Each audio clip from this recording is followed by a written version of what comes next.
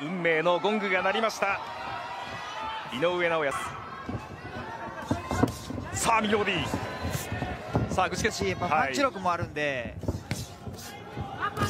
ところをこれ、ポイントにするもんなんですか、は、あ右だ右だフックだなんといや前に出ている。河野。まあ、あの今の河野選手の、はい。冷静さあボディから左。右のショートアッパー。さあ河野がボディ井上尚弥そして井上あのー、立ち上がり悪くないですね、えー、もう対決。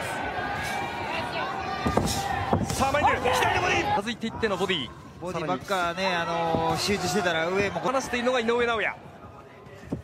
右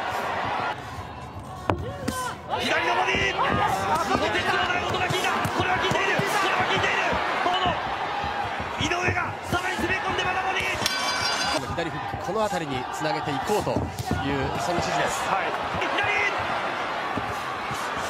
ここは井上の連打。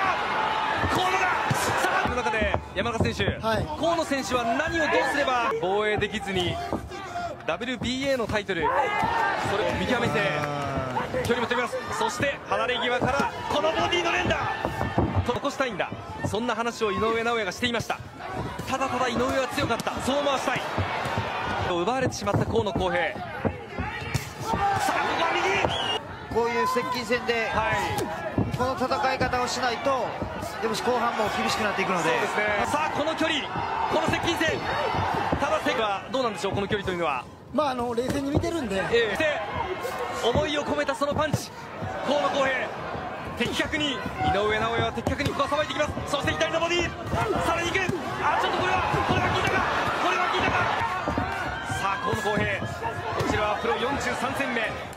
世界タイトルいますねあそうですか。でそして相手に打たせて、はい。そしてカウンターを取っていけと。なるほど。ねちょっと悩むところですよね。接近したい。いやー接近してそして右やそして左。いやー山中選手、はい。あの4が破壊力のあるパンチが打てるようになったと。コールを離します。そのコールを。ラウンドを続けていこうという声が飛んでいました。はい。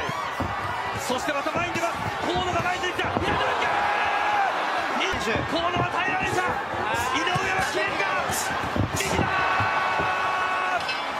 防衛成功こうその力が圧倒的なあのーもちろん井上尚弥選手、そして井上尚弥の腰に WBO スーパーフライ級の